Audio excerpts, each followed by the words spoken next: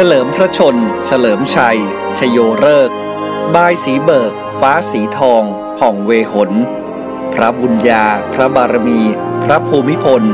เกริกสกล ภูมิแผ่นดิน พินโยไทย ทะทรงมีทศพิษ ราชธรรม โครงการล้ำ เชิดชูชาติ ศาสตร์สวัย อิสริยยศ King of King เพลิดพริ้งไกล งามวิไล ราชกิจ พิษอัศจรรย์ อัญเชิญชัย พระไตรรัตน์สิ่งศักดิ์สิทธิ์ เทพนิมิตร ราชประสงค์ ทรงเสกสรรจตุรพิษ พรประเสริฐ เลิศอนันต์นิจนิรันด์ขอพระองค์ทรงพระเจริญ ด้วยเกล้าวด้วยกระหม่อมขอเดชะ ข้าพระพุทธเจ้ารายการ Sport Today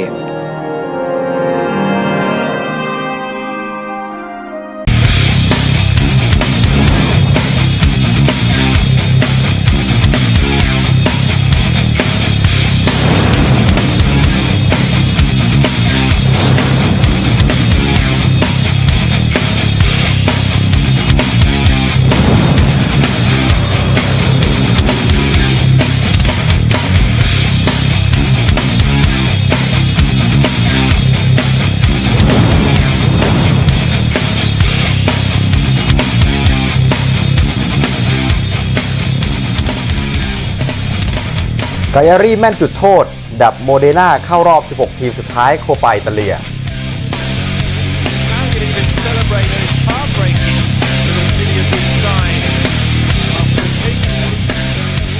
คาวาเลียสบุกซัดนิกส์คว้าชัยชนะ 5 เกมติด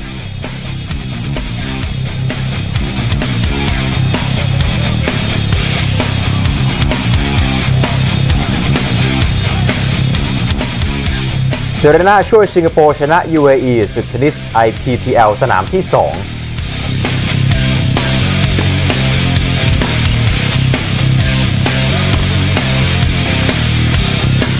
สวัสดีค่ะ สวัสดีครับ ค่ะขอต้อนรับคุณผู้ชมทุกท่านค่ะ เข้าสู่รายการ Sport Today Extra ประจำวันศุกร์ที่ 5 ธันวาคม 2557 วันพ่อแห่งชาตินะคะ วันหยุดแบบนี้ค่ะชวนคุณพ่อนะคะ มานั่งชมรายการติดตามข่าวสารความเคลื่อนไหวในแวดวงกีฬากันค่ะกับเรา 2 คนค่ะ วันนี้ดิฉันกิติลักษณ์จุลเสถียรค่ะ และคุณก๊อฟนรงค์วิศรีวรเวียงค่ะครับผมแน่นอนว่าก็ยังคงมีข่าวสารในวงการกีฬามาฝากท่านผู้ชมมากมายนะครับโดยเฉพาะเมื่อคืนนี้มีเรื่องของฟุตบอลโคปาอิตาเลียนะครับคือเป็นเกมของวันสุดท้ายแล้วนะครับที่จะหาทีมเข้าสู่รอบ 16 ทีมสุดท้าย หรือว่ารอบที่ 5 ที่มีทีมวางจากเกาเชอร์เซราแปดอันดับแรกนั้นรออยู่ในรอบต่อไปนะครับ ไปที่คู่แรกกันเลยนะครับ ที่กายาริพบกับทางโมเดอร์นานะครับถือว่าเป็นเกมที่น่าสนใจจริงๆนะครับเนื่องจากว่าต้องเล่นกันครบ 120 นาที แล้วก็ต้องยิงจุดโทษตัดสินกันเลยครับสำหรับคู่นี้ซึ่งในเกม 120 นาทีเนี่ยเสมอกันที่ 4 ประตูต่อ 4 นะครับกายารีนี่ก็ถือว่าต้องออกแรงเหนื่อยกว่าจะได้เข้ารอบไปนะครับเริ่มมา 6 นาทีนะครับโมเดนาจากเซเรียบีนะครับได้ประตูขึ้นนำก่อนจากอเลเซโอคราโยนะครับมาทำประตูจากจังหวะนี้ได้ครับ เมื่อวานนี้มีต่อเวลา 1 คู่นะครับ ในขณะที่เมื่อวานซื้อนั้นต่อ 1 คู่คือเกมที่อูดิเนเซ่เข้ารอบไปได้ แล้วก็ชนะในช่วงต่อเวลาพิเศษนะครับ หลังจากนั้นนะครับในช่วงนาทีที่ 59 นะครับก็เป็นกายารีที่มาได้โอกาสจากจุดโทษแล้วก็ดานิเอเล่คอนตินะครับทำให้ทีมตีเสมอได้นะครับในช่วงที่เกมผ่านไปประมาณ 1 ชั่วโมงหลังจากนั้นเกมก็ถือว่าสนุกนะครับ เกมค่อนข้างเปิดแล้วก็เป็น นาทีที่ 68 นะครับ โมเดนานั้นฮึดได้ประตูขึ้นนำอีกครั้งหนึ่งนะครับ จากดาวิเดลุปปิครับถึงตรงนั้นนี่เหมือนกับว่าโมเมนตัมจะกลับมาที่ทีมเยือนจากเซเรียบีซะแล้วนะครับ อย่างไรก็ตามแค่ 3 นาทีให้หลังนะครับ เกมรับของทีมเยือนก็ผิดพลาดนะครับ แล้วก็กลายเป็นว่าซาเมลลองโก้นะครับมาทำประตูให้ทางกายารีนั้นตีเสมอได้สำเร็จนะครับ เมลลองโก้ทำได้ แล้วทำให้เกมต้องยืดเยื้อออกไปนะครับต่อเวลาพิเศษอีก 30 นาที ช่วงต่อเวลานี่ก็ยิงกันสลุตเลยนะครับนาที 98 โมเดนาได้ประตูขึ้นนำ 3-2 จากปาโบรกราโนเช่ครับคลิปลูกนี้เหนือชั้นเหมือนกันนะครับเข้าประตูไป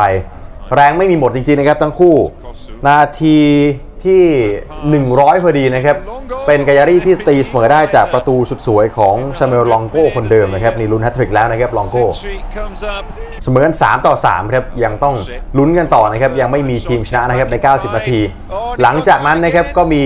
จังหวะที่ทีมเยือนนั้นได้จุดโทษครับลูกนี้ทั้งจังหวะเสียบที่ถลำพลาดไปนะครับ รวมไปถึงจังหวะแฮนด์บอลด้วยนะครับ 2 จังหวะซ้อนเลยนะครับมิฉันก็กลายเป็นจุดโทษของทางด้านโมเดนานะครับแล้วก็ได้ประตูขึ้นนำ4ต่อ 3 จากทางด้านเดียโก้ฟราซิโอสครับอย่างไรก็ตามนะครับกายารีก็สามารถตีเสมอได้นะครับ จากประตูที่เกิดขึ้นในช่วงก่อนหมดเวลาแค่ 2 นาทีครับซามูเอลลองโก้ครับมาทำให้ กายารีตีเสมอได้เป็น 4 ประตูต่อ 4 ครับ สุดท้ายต้องมาดวลจุดโทษกันนะครับผลปรากฏว่ากายารีทำได้ดีกว่าครับ ชนะไปด้วยการดวลจุดโทษ 5 ประตูต่อ 4 นะครับ เกมนี้ซามูเอลลองโก้ก็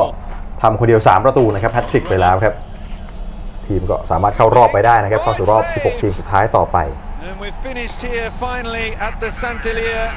ถ้าใครได้ชมนี่สงสัยลุ้นกันตื่นเต้นอะดรีนาลีนหลั่งกันเลยนะคะ ช่วงท้ายๆค่ะสำหรับเมื่อคืนนี้นะคะก็มีอีกหนึ่งคู่ที่ทำการแข่งขันกันนะคะนั่นคือการพบกันของซามพ์โดเรียแล้วก็เบรชาค่ะซามพ์โดเรียก็สามารถเข้ารอบโคปปาอิตาเลียได้แบบไม่ยากเย็นนะคะหลังเปิดบ้านลุยจิเฟอร์ราริสเอาชนะเบรชาเมื่อคืนนี้ค่ะ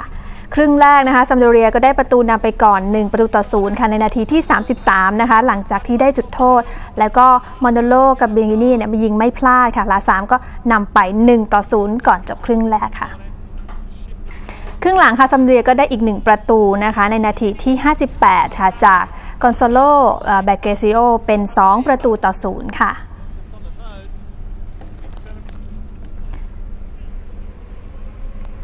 Oh, that's careless. It should be 2 0. It Yeah. is.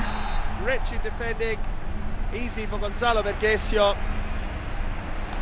ได้เป็น2ประตูต่อศูนย์ค่ะ แต่หลังจากนั้นค่ะก็ยังทำอะไรเพิ่มกันไม่ได้นะคะ จนจบเกมนะคะซัมโดเรียก็เอาชนะประชาไปได้ 2 ประตูต่อศูนย์ค่ะ สามารถผ่านเข้ารอบโคปาอิตาเลียได้แบบไม่ยากเย็นค่ะ Gonzalo Vergesio should have had his second. Took the ball down nicely on his chest. It was well worked. ในขณะที่ฟุตบอลกัลโช่เซเรียอาก็จะมีลงสนามกันด้วยนะครับในคืนนี้ซึ่งถือว่าเป็นเกมที่น่าสนใจนะครับฟิออเรนติน่าพบกับยูเวนตุสทีมจ่าฝูงที่กำลังร้อนแรงในตอนนี้ครับ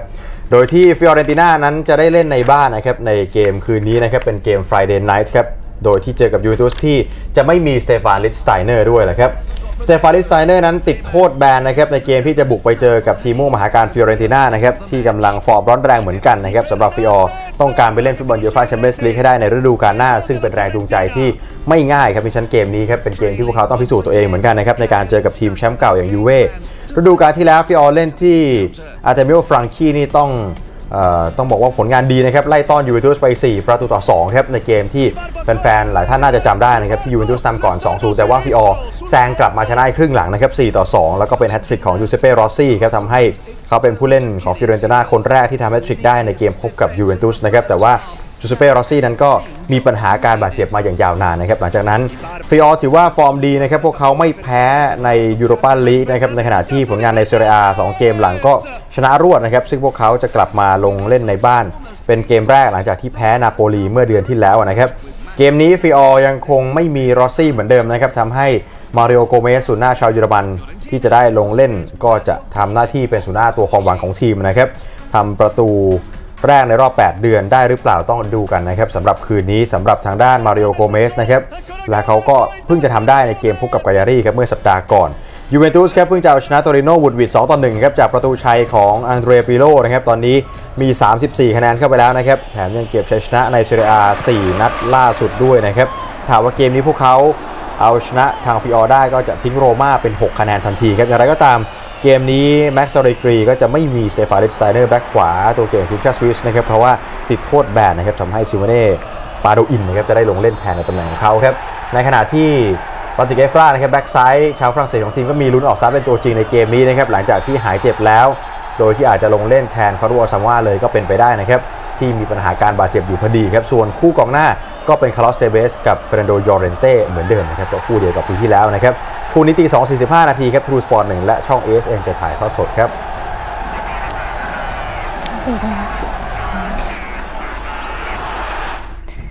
ในช่วงหน้ายังมีหลายข่าวที่น่าสนใจนะครับ เป็นผลการแข่งขันกีฬารอบโลก แล้วก็ความเคลื่อนไหวต่างๆนะครับ ช่วงนี้เดี๋ยวพักกันก่อนครู่เดียวครับ